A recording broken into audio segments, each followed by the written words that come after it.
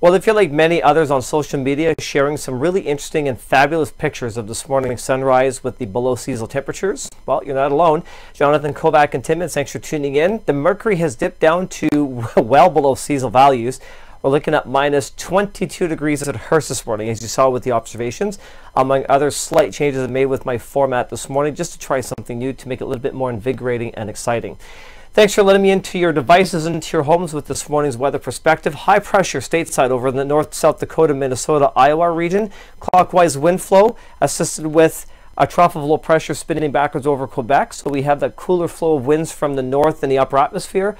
On the ground below, winds are pretty much light and variable, and the barometer is holding steady at 2982 or 101 kilopascal. So we're in good shape. Fair skies dominating the skyline. In fact, the high pressure is helping to bring in more sunshine than cloud, but the cold front with the low pressure over Quebec is also sharing half the responsibilities by giving us mostly the partly cloudy conditions across the northeast Ontario landscape. 4 in the morning till 7 a.m. we can see mostly to partly cloudy conditions across the region, and that's pretty much it.